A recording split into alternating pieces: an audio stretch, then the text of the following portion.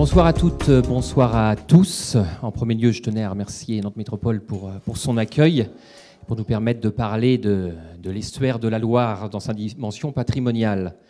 Donc, euh, permettez-moi de me présenter. Donc, Éric Lemerle, euh, salarié au sein de la structure Estuarium en charge de l'action patrimoniale.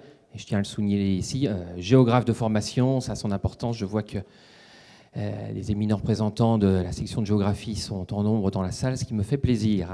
Hein, c'est une formation porteuse, la formation de géographe. Vous voyez, ça mène à tout, notamment à l'histoire de la Loire. Alors, je vais essayer mon défaut, je regarde l'heure. Donc j'ai bien 40 minutes à partir de maintenant, c'est ça, top chrono. Donc il faut que je garde euh, un œil attentif sur la montre, c'est souvent mon défaut. Donc je vous propose euh, d'intervenir en trois temps. En premier lieu, on va vous passer un petit film qu'on a réalisé il y a un an et demi euh, pour le Muséum d'histoire naturelle. Un film qui a pris place euh, dans le cadre de l'exposition L'histoire de la Loire, espace naturel, point d'interrogation. Donc vous allez voir que ce film a l'intérêt de présenter l'histoire de l'aménagement de notre espace histoire Et, et ce film pose également les enjeux actuels. En second lieu, puisqu'il s'agira de parler du patrimoine, je vous présenterai un certain nombre de slides, de photos euh, montrant euh, l'intérêt, tout l'intérêt patrimonial de notre espace. Hein, je les commenterai et ça permettra effectivement de mieux découvrir ou redécouvrir euh, tous ces monuments, parce que nous on parle bien de monuments, hein, qui jalonnent notre espace historien d'amont en aval. Quelques mots sur la structure. Bon, néanmoins, on insistera dans le cadre des questions un petit peu plus sur Estuarium. Estuarium est une structure qui existe, allez, disons-le, depuis 20 ans, c'est quasiment ça aujourd'hui, installé dans le, en plein cœur de, l'estuaire de la Loire. La vocation de cette euh, structure est l'étude et la valorisation du, je devrais plus exactement dire, des patrimoines de l'estuaire de la Loire. C'est ce à quoi on travaille depuis une vingtaine d'années. On arpente le territoire, on essaye effectivement de déceler ces différentes richesses, hein, ce qu'on a fait depuis un moment, et ensuite il s'agit bien évidemment de les valoriser auprès du grand public. Mais si vous voulez bien, on va commencer par euh, ce film de l'estuaire. Hein, donc là, il y a un savant travail entre la technique et moi-même. Hein, je fais des signes.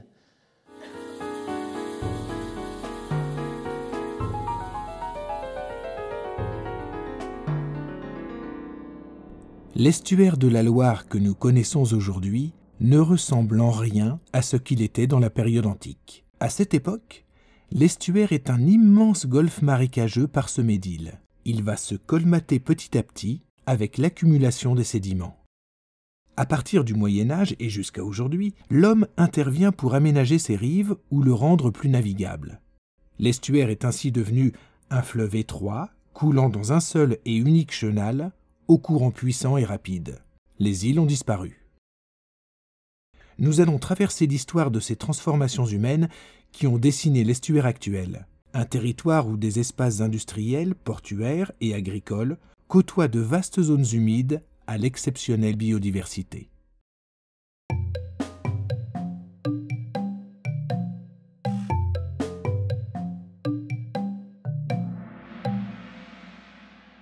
Ce sont les communautés religieuses qui, les premières, vont rendre cultivables les marais estuariens délaissés par les seigneurs les moines dessécheurs construisent un réseau de canaux et de douves. Avec un système de vannes et d'écluses, ils contrôlent le flux des eaux poussées par les marées. Grâce à cette circulation en double sens, les sols sont asséchés en hiver et irrigués en été. L'assèchement des marais est ensuite soutenu par l'État comme œuvre d'intérêt général et de salubrité publique. Notables et négociants s'associent au sein de compagnies et entreprennent de grands travaux dans les zones plus intérieures pour tirer profit de ces nouvelles terres. Jean-Joseph Louis Gralin, architecte, urbaniste et économiste, qui a donné son nom à un quartier de Nantes, investit ainsi une partie de sa fortune dans le dessèchement des marais de Lavaux. Au XIXe siècle, c'est près de Loire, véritable grenier à foin, font la réputation de l'estuaire en France et même à l'étranger. On raconte que le beurre produit dans les prairies de Saint-Étienne de Montluc faisait la joie des tsars. Ces aménagements agricoles ont donné aux marais la forme et le fonctionnement hydraulique que nous leur connaissons aujourd'hui.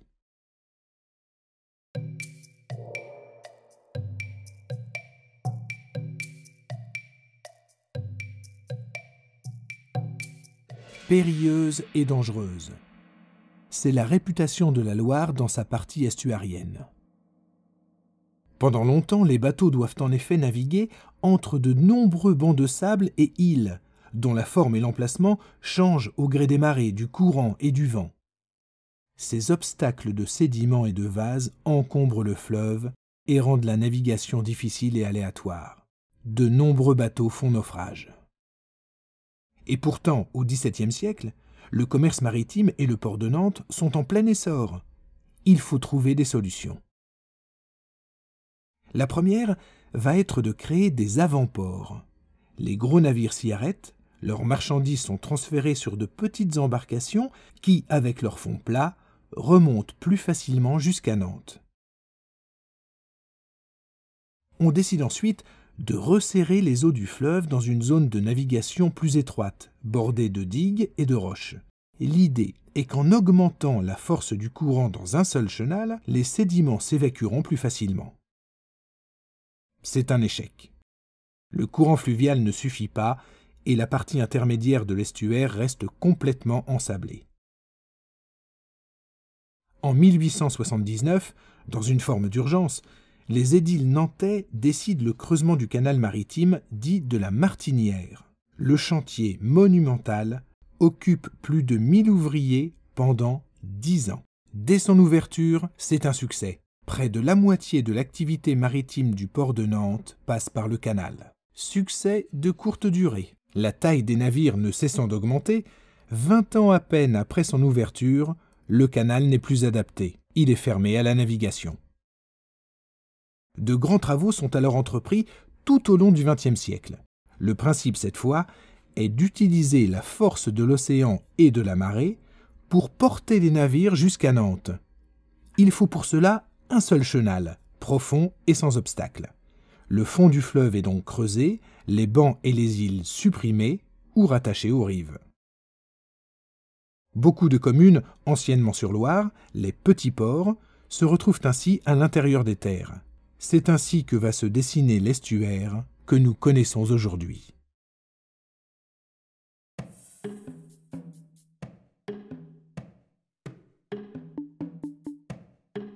À partir du XVIIIe siècle, l'industrie remplace peu à peu le négoce maritime.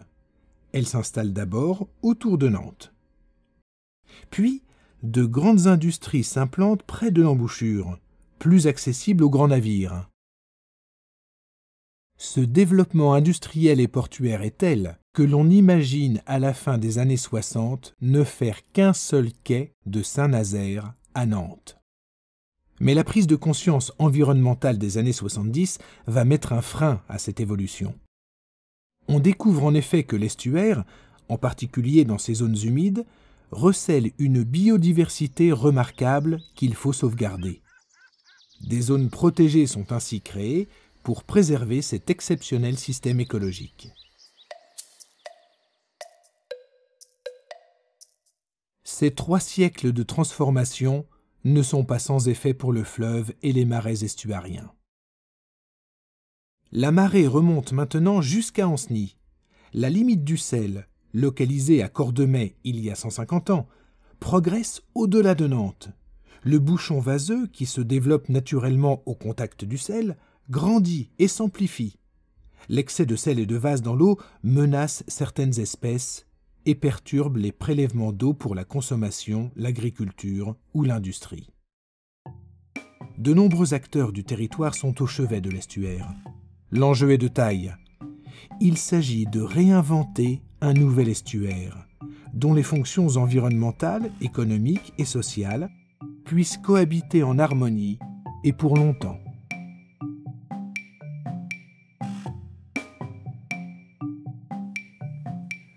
Euh, voici donc, la fin de ce petit film qui présente euh, l'avantage d'être très synthétique et de rappeler un petit peu comment a été façonné notre territoire. Hein, c'est un territoire multiséculaire. Bien évidemment, c'est l'homme qui est à l'origine de l'évolution de, cet espace. Euh, l'avantage, c'est que culturellement, l'homme nous a laissé beaucoup d'éléments beaucoup qui font aujourd'hui partie du patrimoine et qu'on peut aujourd'hui mettre en valeur. Donc, ce qu'on va faire maintenant, c'est un petit peu s'attarder sur différents, différents endroits emblématique de l'estuaire. Hein. Alors, Estuarium travaille donc depuis 20 ans à révéler, nous sommes en quelque sorte des, révélateurs, entre guillemets, bien évidemment, euh, du patrimoine estuarien, des patrimoines estuariens. On a parlé dans, ce film du, patrimoine d'origine euh, agricole, chose parfois méconnue du grand public. Les espaces rivulaires, hein, ce qu'on appelle les, marais, sont bien évidemment des espaces construits. On nous a légué un héritage euh, depuis le Moyen Âge et spécifiquement le XIIe siècle. Hein, on va également parler du fleuve en lui-même.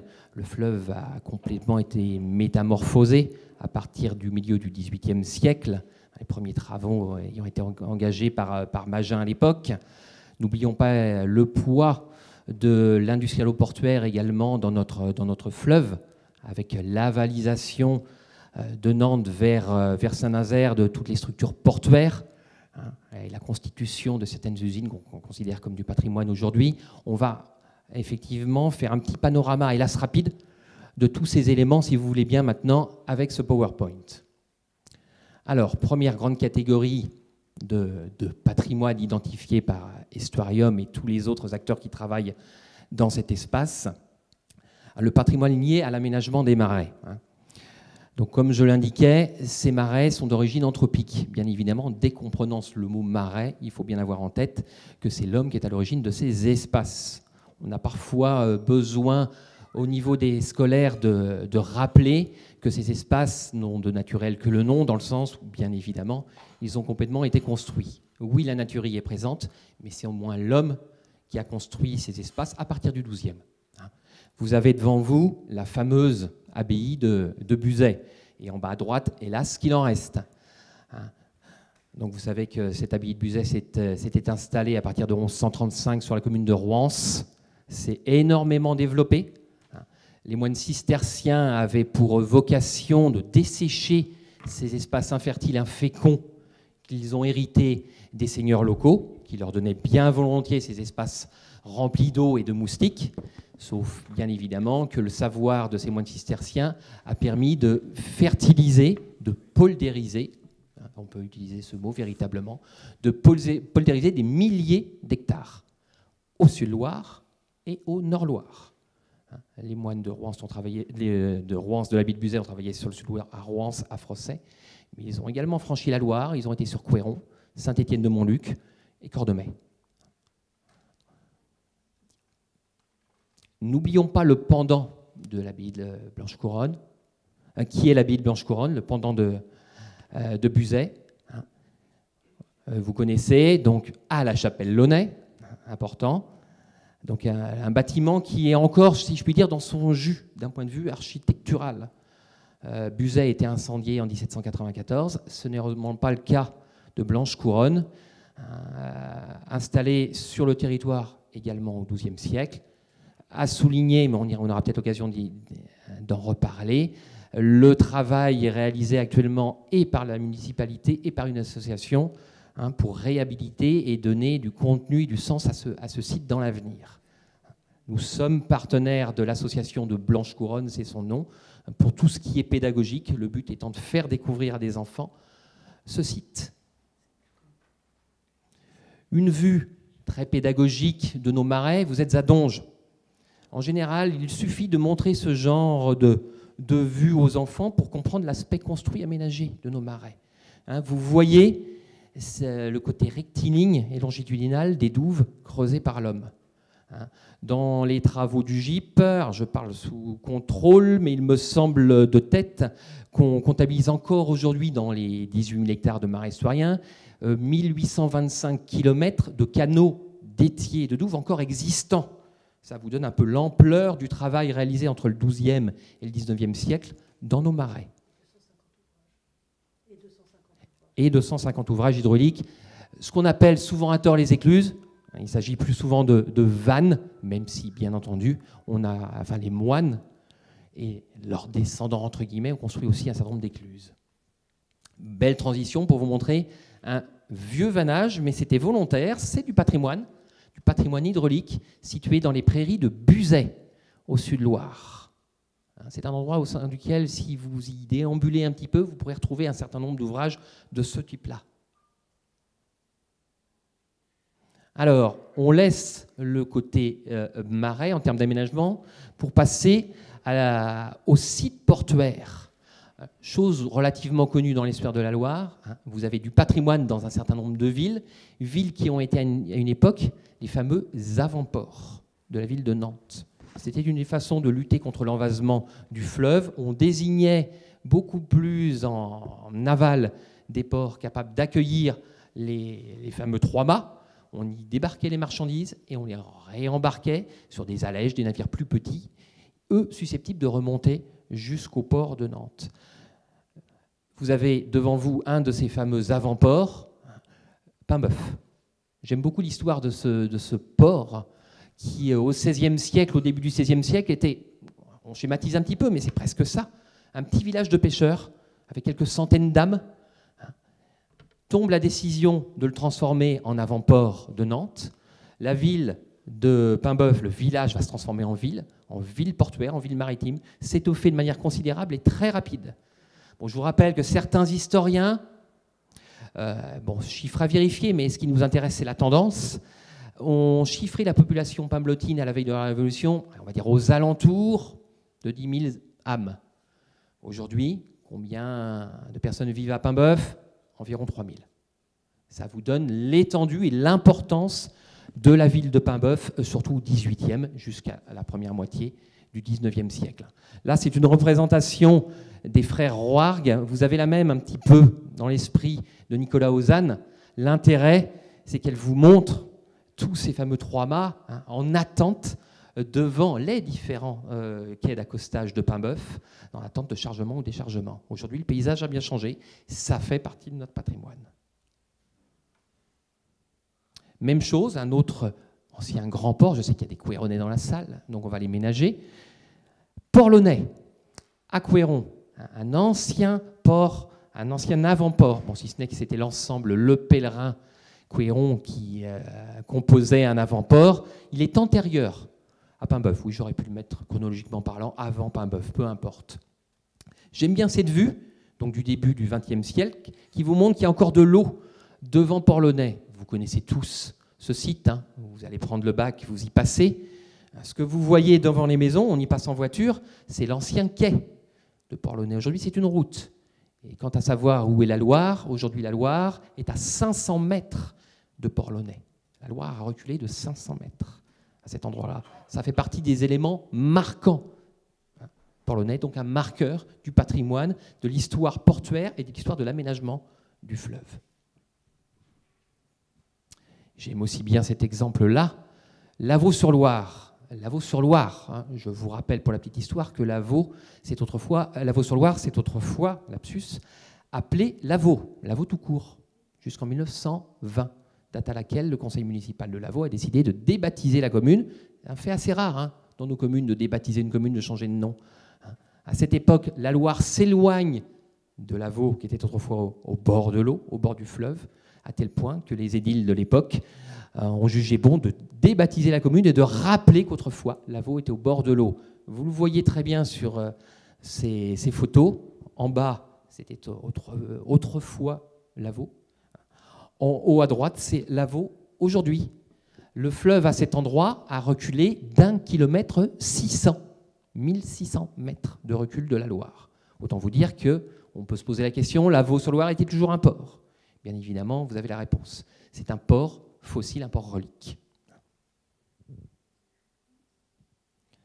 Alors, on ne peut pas évoquer la notion de port sans évoquer le fameux canal maritime de la Basse-Loire. Attention au terme, historiquement parlant, canal maritime de la Basse-Loire ou canal latéral, aujourd'hui connu sous le nom de canal de la Martinière. Je vous rappelle que ce canal a été construit pour permettre aux navires de remonter jusqu'à Nantes. Très brièvement, parce que je n'ai pas trop le temps de m'étendre sur le sujet, il y avait eu des premiers essais de dragage et d'aménagement du fleuve au XVIIIe siècle, qui se sont avérés être un échec pour partie. En fait, on a bien désenvasé un peu Nantes, mais on a concentré toute la vase et tout le sable dans la section intermédiaire donc à la fin du 19e siècle, on se doit de trouver une solution d'urgence, la construction de ce canal long de 15 km, 0,64 mètres, si vous êtes féru de chiffres très précis. 20 ans d'utilisation en termes de passage maritime. Ça néanmoins suffit pour sauver le commerce du port de Nantes. passe à l'industrie maintenant. Je vous rappelle que l'industrie est de plus en plus enclin à être considérée comme du patrimoine. Et c'est le cas dans l'histoire de la Loire. Donc évidemment, Nantes et toutes ces industries, vous n'avez que quelques représentants de l'industrie nantaise à l'écran. J'aime bien la boîte bleue à gauche, hein, construite en 1935, la dernière représentante des raffineries sucrières de, Nantes. Je vous y mets à droite aussi les premiers chantiers du Bijon. C'est de là qu'est sorti le Bélème en 1896. Et puis bien évidemment, autre figure emblématique du patrimoine nantais, l'U, j'aurais pu citer BN. N'oublions pas euh, effectivement les autres sites. Je pense à Saint-Nazaire, Saint-Nazaire, l'histoire est plus courte, mais néanmoins très riche en termes d'industrie et plus spécifiquement de construction navale. Allez, à gauche, le premier paquebot à avoir été construit à Saint-Nazaire en 1864, l'impératrice Eugénie, 108 mètres de long, c'était déjà conséquent à l'époque. Je vous rappelle que l'Oasis 3, qui est en construction actuellement à Saint-Nazaire, 361 mètres de long, 72 mètres de haut, 19 ponts, un parc arboré de 3000 mètres carrés, trois murs de varap à l'intérieur, bref, j'en passe. Mais on fêtait effectivement les 150 ans de construction navale sur Saint-Nazaire. On continue, l'industrie, bien évidemment, est présente dans tous les sphères de la Loire la tour à plomb de Couéron, présente depuis 1860 euh, sur site. Cordemais, ça fait partie du patrimoine euh, actuel. Je vous rappelle que c'est un lieu qui se visite. Hein. Vous pouvez tout à fait effectivement découvrir le fonctionnement du site. Indrette, bien évidemment en bas, avec un plan de l'ancien moulin à marée. Vous connaissez tous et toutes l'histoire de ce, de ce site et l'implantation d'un moulin à marée pour la construction des canons en bronze. C'est les canons qui tournaient sur le forêt et non l'inverse à l'époque. On passe bien évidemment au volet environnemental. C'est beaucoup plus récent dans la découverte de notre patrimoine. Je vous rappelle que la conscience environnementale va naître dans les grandes lignes dans les années 70. D'ailleurs, la création du ministère de l'Environnement en France, hein, c'est 1971. on, considérait avant on ne considérait pas l'environnement avant 1971 comme étant suffisamment important pour justifier la création du ministère, ce qui sera fait en 1971. À partir de cette date, on prend conscience littéralement de l'intérêt écologique. L'estuaire de la Loire est bien évidemment également un monument écologique. J'aimais bien cette première photo où vous aviez et euh, c'est une donnée chère à Estuarium, on parle des patrimoines de manière générale, on parle d'équilibre dans l'estuaire. J'aime bien cette photo avec la centrale, hein, qui est un monument phare, un de nos châteaux de l'estuaire de la Loire, et effectivement la réserve du Massereau au premier plan. Alors bon, hein, je, vous, passe toutes les richesses environnementales de l'estuaire de la Loire que vous connaissez. 250 espèces d'oiseaux. En France, il y en a 550. Grosso modo, on a à peu près la moitié du patrimoine de l'avifaune française présent à un moment où, dans les sphères de la Loire. C'est considérable. 700 espèces de plantes à fleurs, le phragmite aquatique, il y a tout un programme d'études sur cet oiseau, la loutre, la loutre revient dans notre estuaire, un des mammifères emblématiques. Bon, l'angélique des estuaires, vous êtes dénantais pour partie, je ne passerai, vous connaissez parfaitement. Les amphibiens, comme le triton crété aussi. La cigogne blanche, est-ce que je peux la qualifier d'ambassadrice de notre patrimoine environnemental? Je peux vous suggérer l'idée. En tout cas, c'est un oiseau qu'on montre très souvent au public et notamment au jeune public. Un mètre vingt, un adulte, on le voit bien. C'est un oiseau qui n'a pas trop peur, effectivement, de l'être humain. Donc on peut facilement parler d'environnement avec les enfants grâce à cet échassier. Il n'y a pas que des oiseaux. Hein, n'oublions pas non plus, effectivement, les plantes, les amphibiens, hein, Fritillaire pintade et le pélodite ponctué reconnaissable avec ces petites taches vertes sur son dos. Qui dit protection de l'environnement dit également notion de réserve. On a pas mal d'espaces effectivement qui sont dévolus spécifiquement à la protection de, nos euh, espèces environnementales emblématiques. Vous avez en haut à gauche la réserve du Massereau et dans son prolongement la réserve du Migron et en bas le fameux banc de. Vous connaissez tous et toutes. Regardez-le bien, hein. au, XVIIIe siècle, dans Sœurs de la Loire, il y avait 53 îles qui jalonnaient le parcours entre Nantes et Saint-Nazaire. Aujourd'hui, il en reste deux, dont le banc de Bilot, mais qui est devenu une réserve naturelle, car des milliers d'oiseaux l'ont trouvé suffisamment intéressant pour, euh, je dirais, euh, y construire leur, habitat. Le patrimoine fluvio-maritime n'est pas en reste. Le Belém, bien évidemment, comme étendard. Hein, vous savez que la ville de Nantes conventionné avec la Fondation Belém pour que le port d'attache de ce navire soit Nantes. Et le Belém revient régulièrement dans l'estuaire de la Loire pour parler de patrimoine fluvio-maritime, bien évidemment. Le petit patrimoine fluvio-maritime, on construisait des bateaux en bois spécifiques à la navigation dans l'estuaire de la Loire, les toux, les futreaux. Le patrimoine ethnologique lié aux usages, la pêche, bien évidemment, même si elle tend à diminuer dans l'estuaire de la Loire, avec l'or blanc de l'estuaire en bas à gauche, la pibale, mieux connue sous le nom de civelle, bien évidemment. Autre forme, effectivement, de, pêche, la pêche dans le canal, les fameuses pêcheries. Je vous rappelle que vous pouvez euh, aller pêcher au sein de quelques pêcheries au Sud-Loire maintenant, sur Corsé, sur Saint-Brévin-les-Pins. Le patrimoine lié à l'aménagement des marais, c'est comme ça qu'on désenvasait les canaux dans les marais à une époque, avec un, bateau d'évaseur de ce type-là. Le bateau existe toujours, a été mis en valeur à Cordemais. Le patrimoine, l'histoire de l'agriculture, hein, très important également. On a besoin effectivement de l'agriculture, on a besoin de la maintenir dans nos marais, c'est primordial si on veut que nos marais continuent à exister, et le patrimoine qui s'y trouve donc également. Le patrimoine artistique, j'aime bien cette vue de la maison dans la Loire face à Couéron, face à la tour à plomb, la Villa Cheminée, bon, je suis résident à Cordemais, je n'ai pas pu m'empêcher de vous mettre un exemple cordemésien. La passerelle et l'observatoire de Kawamata à Lavaux, hein, parcours immersif, presque initiatique, pour relier à nouveau, retrouver à nouveau la Loire comme autrefois. Alors, bien évidemment, tout ce patrimoine est étudié par beaucoup de monde dans l'histoire de la Loire, également par Historium depuis un certain nombre d'années. Nous réalisons des supports de valorisation, c'est-à-dire que nous réalisons des livres, des sites web, des sentiers du patrimoine avec installation de panneaux. Nous euh, éditons une revue scientifique, Estoria. Nous avons réalisé dernièrement une application numérique qui vous permet, grâce à, il est dans ma poche, désolé, je voulais vous montrer mon smartphone, grâce à un smartphone, une tablette, de découvrir l'estuaire numériquement parlant.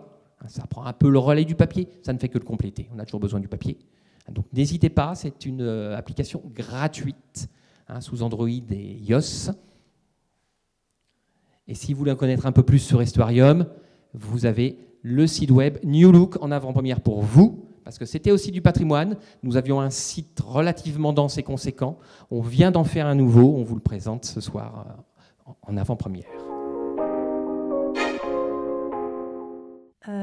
l'existence d'une association dédiée à la valorisation d'un estuaire, cette volonté hein, du patrimoine, euh, comme, dans la Loire, est-ce une spécificité de l'estuaire de la Loire? Est-ce qu'il y a d'autres exemples? Est-ce une originalité? Et y a-t-il d'autres euh, personnes et d'autres acteurs qui interviennent également dans ce type de problématique Et comment vous travaillez ensemble? Alors, sur l'aspect original et spécifique d'Estuarium, oui, la réponse est oui. Euh, nous considérons qu'effectivement, Estorium a un caractère un petit peu particulier. Alors, quel est ce caractère particulier? C'est qu'Estorium, à la base, lorsqu'elle a été créée il y a 20 ans, était une structure à vocation scientifique. Des scientifiques ont été embauchés initialement. J'ai eu la chance d'en faire partie à l'époque. Donc le but était vraiment d'exonder, de chercher euh, si l'estuaire de la Loire recelait réellement suffisamment de valeur patrimoniale. Je vous rappelle qu'à l'époque, l'estuaire de la Loire, on le connaît peu il y a 20 ans peu ou quasiment pas. Ça correspond à peu près à la période où on tourne le dos à l'estuaire. Dans les années 80-90, lancement du dernier bateau au sein des chantiers du Bijon. 86, si mes euh, souvenirs sont bons. 88, on va fermer les portes de Tréfiméto, par exemple. Euh, un petit peu plus tard, on fermera les portes euh, d'Octel à Paimboeuf, etc., etc. Les rives sont peu accessibles, les rives sont peu valorisées. À l'époque, on se pose la question de savoir si l'estuaire vaut le coup d'un point de vue patrimonial. Il s'agit donc, réflexion de l'État et de la DRAC des Pays de la Loire, de créer une structure qui étudiera effectivement l'estuaire intégralement d'amont en aval pour voir si ce territoire recèle ou non, contient ou non suffisamment euh, d'intérêt d'un point de vue patrimonial. Évidemment, la réponse était oui.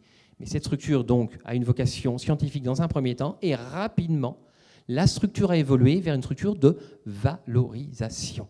Donc, dans un premier temps, étude, et dans un second temps, valorisation de toute cette connaissance qui va constituer un socle pour parler différemment de l'estuaire. Alors, parler différemment de l'estuaire pour répondre à la deuxième partie de votre question, bien évidemment, pas seul. L'estuarium n'est pas seul sur le territoire, loin de là. Hein. il y a énormément de partenaires hein, qui travaillent sur euh, l'aspect patrimonial dans l'estuaire de la Loire. Je pense à toutes ces associations, à tous ces érudits qui travaillent depuis très longtemps d'amont en aval, avec lesquels effectivement nous travaillons, car Estuarium, autre spécificité, a un programme d'intervention globale. Nous sommes installés à Cordemais, mais il ne s'agit absolument pas de ne travailler que sur le patrimoine de Cordemais. Nous travaillons sur tous les patrimoines, sur les deux rives, d'amont en aval.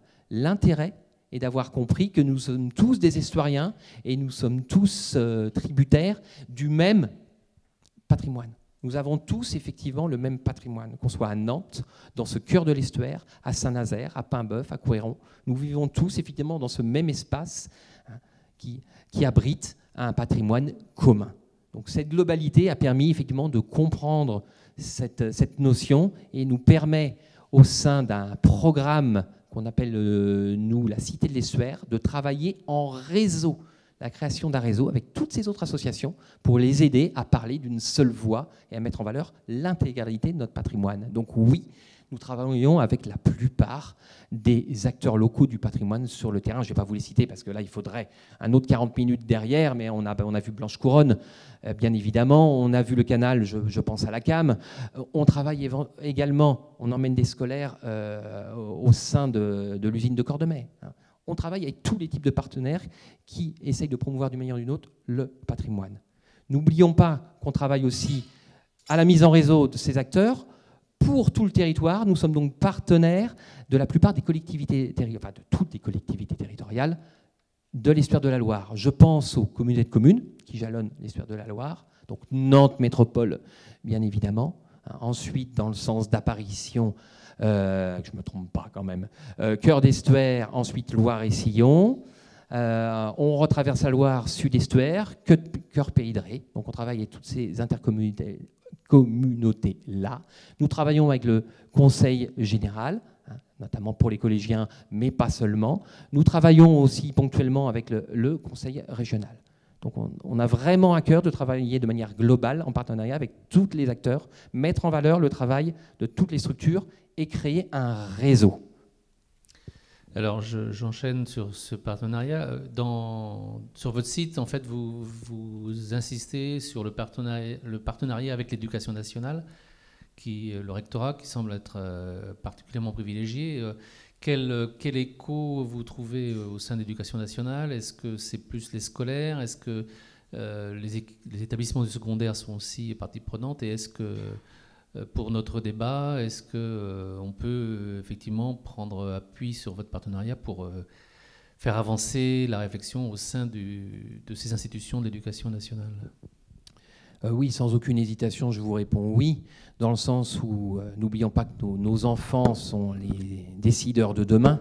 Donc il s'agit de travailler à la source et de montrer à tous ces enfants effectivement l'importance de notre territoire. Euh, allez, en termes de chiffres, on travaille annuellement avec à peu près 2500 scolaires, premier, second degré, école publique, école privée, collège, lycée. C'est à peu près euh, le nombre d'enfants qu'on accueille annuellement. Donc on est une équipe d'animateurs hein, qui, grosso modo, dans la période printanière, emmène les enfants, travaille en amont avec le corps enseignant à la définition d'un projet pédagogique. L'enseignant veut travailler sur quel thème, à quel endroit. Ensuite, il s'agit d'emmener les enfants, de travailler éventuellement en aval en classe, effectivement avec eux. Donc oui, c'est une centaine de classes par an, 2500 enfants. Donc c'est quelque chose que fait Estuarium depuis longtemps. Je vous rappelle qu'Estuarium avait initié ce, travail réellement auprès des enfants avec les fameuses classes Belém. Hein, il s'agissait de, travailler autour du 3-mâts à des projets pédagogiques pendant trois ans. C'est ce qu'a lancé un petit peu, je dirais, le volet pédagogique de la, de la structure en 2000, 2001, 2002. Donc oui, le cadre scolaire. On est labellisé depuis 2006 Centre d'éducation au patrimoine par euh, l'éducation nationale, donc reconnu comme étant un partenaire permettant aux enfants de bien s'imprégner, de connaître ce territoire. Qui connaît bien, protégera bien, bien évidemment. Ce travail pédagogique, euh, existe-t-il aussi dans les autres estuaires? Par d'autres associations, bien sûr, pas, pas estuaires. Oui, pas, pas, seulement que dans des associations, mais oui, tous les estuaires sont des espaces construits, des espaces à enjeu. Donc effectivement, euh, c'est le cas dans l'estuaire de la Seine, c'est le cas dans l'estuaire de la Gironde notamment, effectivement. Avec des structures qui ne prennent pas forcément la forme d'estuarium. Ça peut être dans certains cas un syndicat mixte. Je pense à effectivement la, Seine, mais oui, bien évidemment, un qui dit territoire en jeu dit valorisation. C'est le cas. Vous avez eu aussi un partenariat avec euh, Estuaire, des éditions 2007-2009 euh, et la dernière, 12. Donc vous avez été, je crois, un partenaire privilégié. Pourquoi est-ce que vous avez, euh, enfin, comment ça s'est passé? Est-ce que vous trouvez que ça a été un levier important sur euh, la découverte de l'estuaire, cette initiative, et enfin, quel regard vous portez sur sur cette initiative? Alors bien évidemment, Estuaire a été, bon, vous le savez toutes et tous, un véritable révélateur de notre espace. Hein. Ce musée à ciel ouvert installé avec 28 œuvres pérennes entre 2007 et 2012 est quelque chose de, primordial. Ça a permis de faire connaître l'estuaire aux estuariens, mais également à l'international, donc ça c'est fondamental. Bien évidemment, on ne pouvait que travailler avec euh, Estuaire dans le sens où on a la même philosophie de l'estuaire. Il s'agissait à l'époque de remettre en valeur, comme je vous l'expliquais tout à l'heure, ce territoire qui était jusqu'alors boudé. On s'est donc naturellement trouvé. Estuaire sur la construction des œuvres, et nous, avec Estuaire, sur l'explication non pas de l'œuvre, ça c'est l'apanage bien évidemment des artistes et d'Estuaire, mais l'explication de l'implantation de l'œuvre à tel ou tel endroit. Pourquoi une œuvre comme celle-là à tel endroit? Et quel est le lien entre l'œuvre et, son territoire C'est ce à quoi a travaillé Estuarium en 2007, 2009 et 2012 en partenariat avec Estuaire. Alors, euh, de tête là encore, euh, si vous voulez quelques chiffres, on a emmené dans le cadre juste du partenariat avec Estuaire, 5000 élèves, 105 euh, établissements 30, émanant de 37 communes différentes. Donc oui, il était très important de travailler avec Estuaire, ça a été le cas. Sachez également que nous continuons à travailler avec Estuaire, et d'ailleurs dans le cadre d'un grand projet éducatif qu'on compte mettre en place à partir de 2016 euh, dans l'Estuaire de la Loire, le voyage à Nantes euh, serait partie prenante. C'est en, cours de discussion, mais effectivement, nous envisageons de, continuer le partenariat sur un futur grand projet éducatif ou pédagogique dans l'histoire de la Loire. Oui. Alors je suppose que dans le cadre de vos partenariats, vous travaillez avec le grand projet Civel dans l'usine élévatoire. Est-ce que vous pouvez nous en parler un petit peu? Parce que on n'a pas, euh, n'a pas fait venir Emmanuel Marie, mais comme vous êtes partenaire, vous allez pouvoir nous éclairer. On fait plus spécifiquement partie du comité de pilotage du projet effectivement Civel.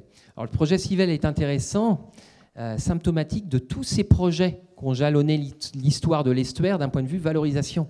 On a parlé d'estuaire, c'est un exemple très important, mais un exemple parmi d'autres. Hein, petit à petit, on a vu dans le territoire des événements ou des structures se monter pour valoriser et raconter l'histoire de l'estuaire. Hein.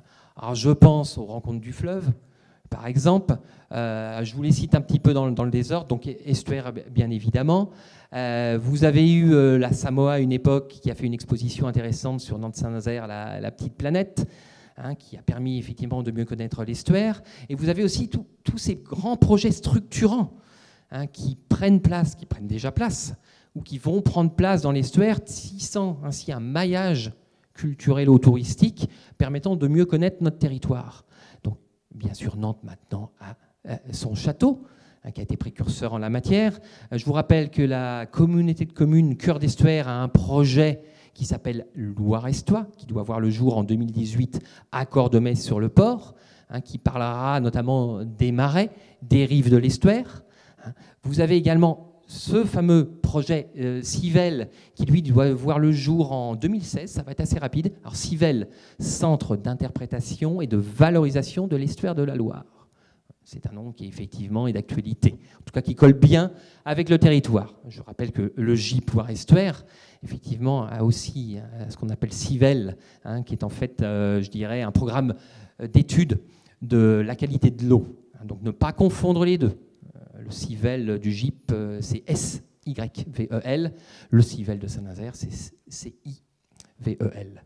Donc, effectivement, c'est un des programmes structurants, un des projets structurants qui doit voir le jour dans quelques années dans l'histoire de la Loire. Un autre, qui est encore un peu méconnu, Lavaux-sur-Loire va peut-être également se voir équipé d'un équipement dans le bourg. C'est en cours de réflexion hein, au sein du bourg pour parler, bien évidemment, Lavaux est situé au milieu des marais aujourd'hui, des marais estuariens.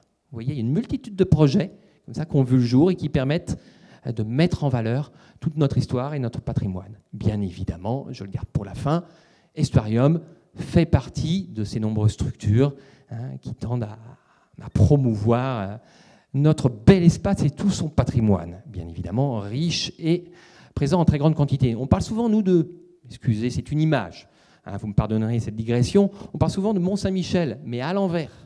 Hein. on n'a pas ou peu de, comme ça, de, a priori, de prime abord, de grands monuments dans l'histoire de la Loire, quoique.